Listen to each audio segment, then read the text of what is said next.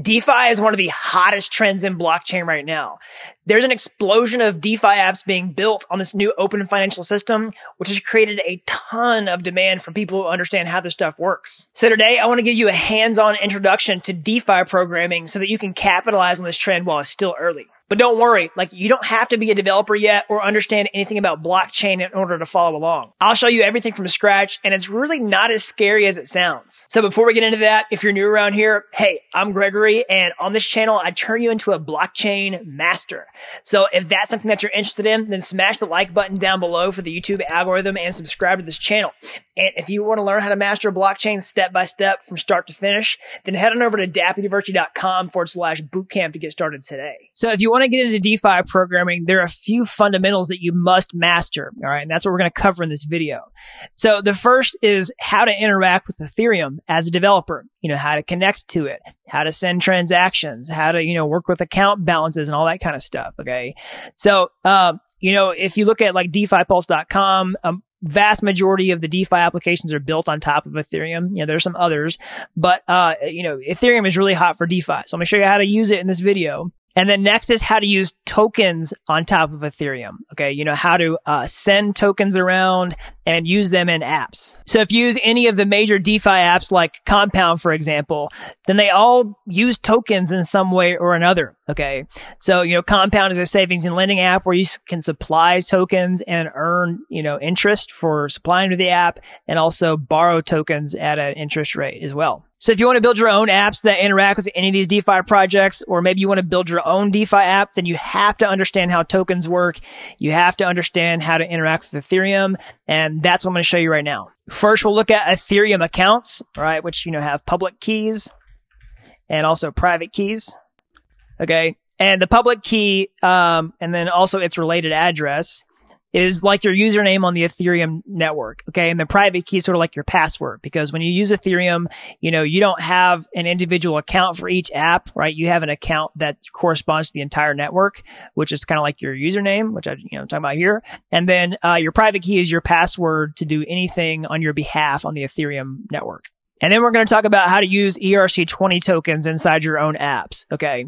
So, uh, we're going to specifically look at the DAI stablecoin. So this is a really important uh, cryptocurrency in the Ethereum network. It's a stable coin whose price doesn't change. So the price doesn't go up and down. It stays constant. It's pegged at the US dollar, you know, roughly constant. And DAI is an ERC20 token, which basically means that it follows a specific set of rules uh, that describe how it works. It has a specific set of functions um, and a specific set of behavior that are common to pretty much all uh, Ethereum-based tokens, at least the ones that are used by uh, these major DeFi apps. So if you want to build your own DeFi app, you want to interact with any of these DeFi apps, then you have to understand how ERC20 tokens work. And so that's what we're going to do in this video.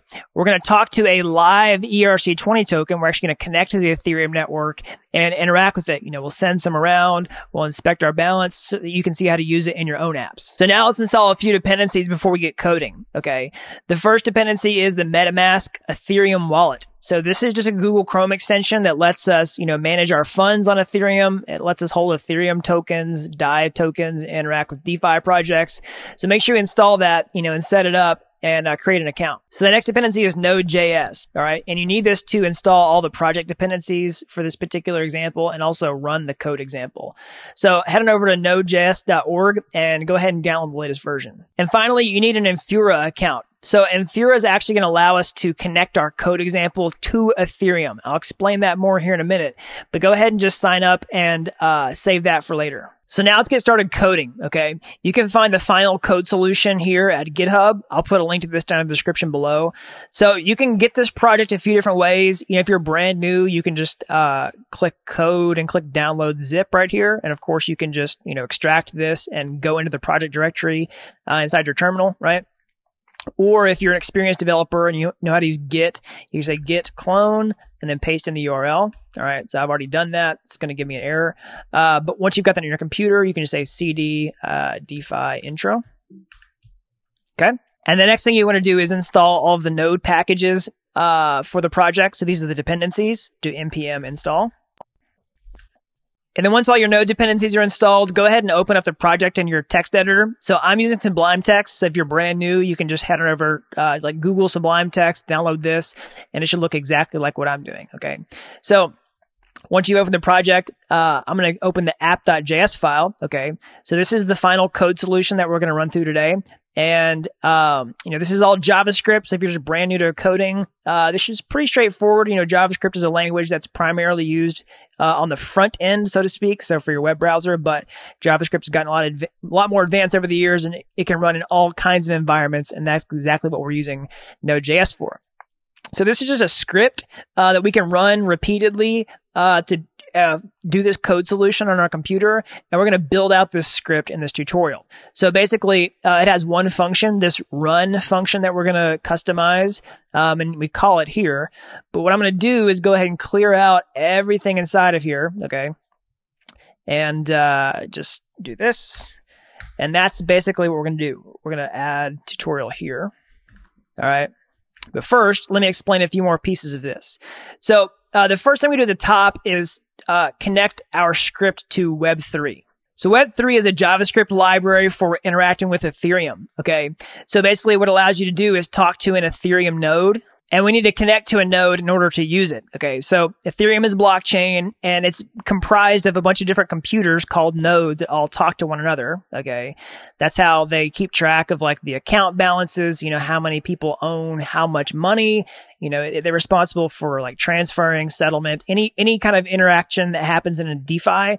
Uh, you know, the blockchain handles that. So we need to connect to a single Ethereum node on behalf of the entire network. And that's what uh, Web3.js allows us to do. And then we can call functions with JavaScript um, that interact with Ethereum. So we can fetch our account balance. We can see how much DAI we have. We can transfer DAI. We can interact with DeFi protocols. And that's what we're going to do with Web3.js. And that's what we've done here at the top of this file.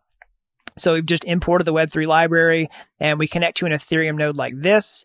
And then, of course, we add some more customization, which I'm going to show you how to do now. All right. So now I'm going to show you how to fund your test account because we need some fake Ethereum cryptocurrency or Ether uh, in order to do this tutorial.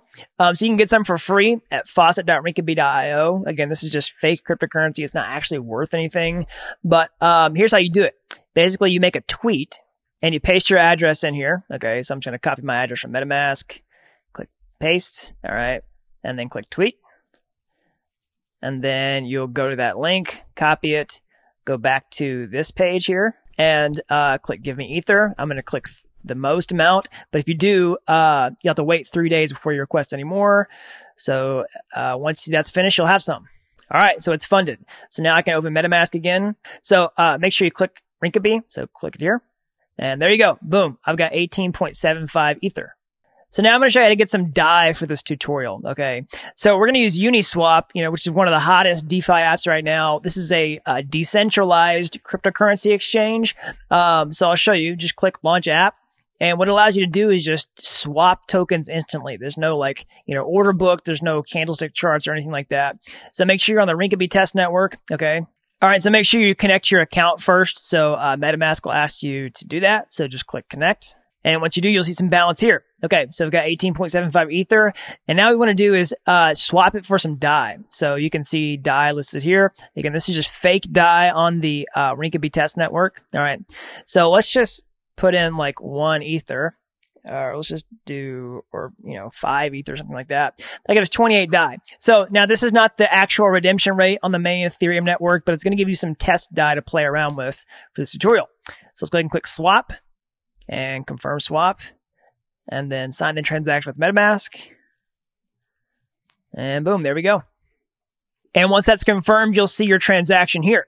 So this might be your first introduction to a block explorer. So this is Etherscan where you can basically go verify all the transactions on the Ethereum network. You know, all your account activity is public. You can see it here. Again, this is not the real Ethereum network. It's a test network, but you can see what happened here. Basically, we interacted with the smart contract here that powers Uniswap and we traded uh, Ether for uh, DAI. Okay, you can actually click through this to see the DAI stablecoin smart contract. Okay, so this is the one that we're going to use for our tutorial. All right, so now that I've cleared this out to its bare bones, basically I took everything out of this run function right here. That's what we're going to fill out together. Uh, you need to uh, configure a few more things here. All right, the first is you need to grab your Infura API key. So make sure you go back to Infura and then just copy your API key and then paste it here. Okay, so I'm not going to do that on screen, but uh, you need to do that before you continue. And then next you need to grab your account from MetaMask. Okay, so just go in here and just copy your account and then paste it inside of here. All right. And then next, you're going to want to uh, also get your private key. So uh, I'll go ahead and say never, ever, ever, ever, ever use a real private key. Never store any money in this account. It's going to be visible to other people if you, you know, save this code. So just be really careful. Don't ever use this for real money. You can just open MetaMask here and click this little, uh, these three dots and go to account details and click export private key. But once you do, just copy it and then go back to your project and then paste it in here. All right. So now I've uh, filled in all my information and I've hidden that off screen. Okay. So I suggest you do the same if you're, you know, anyone's watching you do this tutorial. So, uh, next, you know, we've configured the DAI token here. Okay. So you shouldn't have to change anything here. This should be set up for you, but let me explain what this is. Okay. So um, is a smart contract and it has an address on the Ethereum network, a lot like a username, just like your account does. Okay. And so this address right here tells us where the DAI smart contract is that governs that cryptocurrency on the test network. Okay. And then we have this ABI, which, uh, just allows us to understand how DAI works, like what functions it has, um, and all that kind of stuff. So you need these two pieces of information in order to create a JavaScript version of DAI, which we're going to use in this tutorial. So the first thing we want to do inside of here is just uh, check how much Ether we have in our wallet. Okay, so that's you know just the Ethereum cryptocurrency that's native to the blockchain. Uh, we can start off by just saying let result. So this is just how you uh, you know define a variable in JavaScript. Okay, so we're going to call it result, and we're going to um, store the balance of our account like this. So we say result equals await web3, all right, ETH, get balance. Okay. So it's pretty simple. Basically, we're just using the Web3 library uh, to fetch our balance. We pass in the account that we stored, you know, at the top of the file. Of course, mine's off screen because my private key. And we can go ahead and run this code to see how it works. Okay. We can just go to our terminal here and uh, say uh, node so app.js. Okay, so Node basically is just uh, the way of executing the file with Node.js. And then we pass in the file name app.js here. And then click enter. And boom, there you go. So the Ether balance is 13.74, which is the exact same number that we saw in MetaMask. Okay. So uh, let me explain what this line here does. Basically, this converts the Ethereum balance. So if I just click, if I comment that out and run it again, you'll see that uh, it's this really big number. Okay. That's because um, Ethereum doesn't use decimal places like most cryptocurrencies don't, uh, to my knowledge. Any of them do. so basically, like this is the wei value for Ethereum. So that means that like Ethereum has 18 decimal places behind the zero. So uh, it can be divided quite a bit. This is different from like the US dollar that has two decimal places behind it. Okay. So what you have to do is convert all of this to a decimal number. And that's what this line here does. So that's uh, web3.utils fromWei. That's what I was talking about a second ago. You pass in the result and say you want to convert it to ether. Uh, and then you uh, format it that way. Okay. So run that again and see we have 13 ether in our wallet. So now what we can do is actually check the DAI balance. Okay. So, um, we checked our ether balance and now we can see how much DAI we have in our wallet like this. So we can do it with Web3. All right. So we have DAI here, which is the smart contract and we can interact with it like this. We just say await DAI methods balance of. Okay. So balance of is the function on ERC20 tokens where you determine how much you have. Okay. So we pass in uh, account just like we did here. And after that, we must say call. So you can't just call the function like this. Uh, sorry, you can't call it like that. You actually have to do call at the end. Okay. And then we store the result here. And then we also, uh, you know, convert it to, uh, and then we also, uh, format it just like we did here. And then we log the result to the console. So let's run the app again. And boom, there we go. We have 13 Ether and 28 DAI. So now what we want to do is actually send some DAI tokens around. So this is a really fundamental thing to understand. You know, if you want to use uh, a DeFi app, you want to earn some passive income, you know, put it in a pool or something like that, um, then you need to understand basically how to just send tokens around on the network. So that's what we're going to do in this step. Okay. So here's what the code looks like to do that. So this looks a little more complex than these two steps before, uh, but it's not that bad. So let me just step through it. First, uh, you need somebody to send the DAI to. Okay. So I've just put in a dummy address here. So do not send any real cryptocurrency to this address in real life. This is just for the tutorial. Um, that's the two. Uh, that's the recipient. So, uh, that's one thing we need. The next one is the amount. Okay. So we're going to send one DAI. Okay but uh, we treat it like ether because it has 18 zeros after the decimal place just like ether does.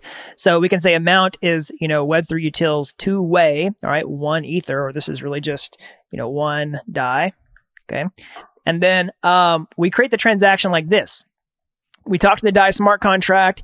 We uh, find its methods and then we use the transfer function. So this is the ERC20 function that actually, uh, you know, sends DAI from one person to another. It needs two arguments. The first one is the recipient, so two, and the second one is the amount of DAI we want to send. Right. So that's how we call the function. Now, that doesn't actually call the function. We actually have to say send. That actually sends the transaction and signs it with our account. So we specify who that's coming from. That's the from. That's the account here, just like we did here. All right. Then the gas limit. So again, Ethereum uh, requires you to pay gas on the network with Ether anytime you create a transaction. So this is the maximum amount of gas that we'll pay. And then we specify the gas price. So in this case, it's just 50 Gwei. And then finally, uh, we're going to log the transaction to the console so that you can uh, get a link and inspect the result yourself. And now we'll run it like this. Okay. And boom, there we go. We can see the successful transaction here. We can copy this link uh, go to our browser, paste it in, and there we go. Boom. We've transferred one DAI uh, from this account to this one. And so finally, we want to inspect the balances after the transfer to observe the change. Okay, so we'll just paste in this block here. This is the same thing from up here, right? Just copy and then paste and then click save. And we'll run the app again like this. So node app.js, it'll transfer DAI again, but we'll see that the balances actually change. Okay. And boom, there we go we can see that uh, the DAI balance went down after we sent some, and also our ether balance did just a little bit too. All right, so that's an introduction to DeFi programming. You know, we've seen how to talk to Ethereum, how to use your account, how to use tokens, how to send them around, all that kind of stuff. So these are fundamental skills to know if you want to build your own DeFi apps. You know, uh, interact with other DeFi apps, get hired as a developer, you know, whatever. Okay. So if you like this tutorial, then certainly smash the like button down below. Subscribe to this channel to see more videos like this when they come out. But if you want to like continue on with this, what, what should you do? Well, you can go to my YouTube homepage. You can find any of my YouTube uh, courses there. They're just like Udemy courses, but they're totally free. All right. And if you like those and you want to take the next step, or hey, maybe you want to take a massive shortcut entirely, just, you know, learn how to master blockchain step by step from start to finish without having to like look at all these videos out there on the internet, then I can show you how to build a real real world DeFi application that goes way beyond any of the free content that I've put out there on YouTube. Just head on over to dappuniversity.com forward slash bootcamp to get started today. All right. So that's all I've got. And until next time, thanks for watching Dapp University.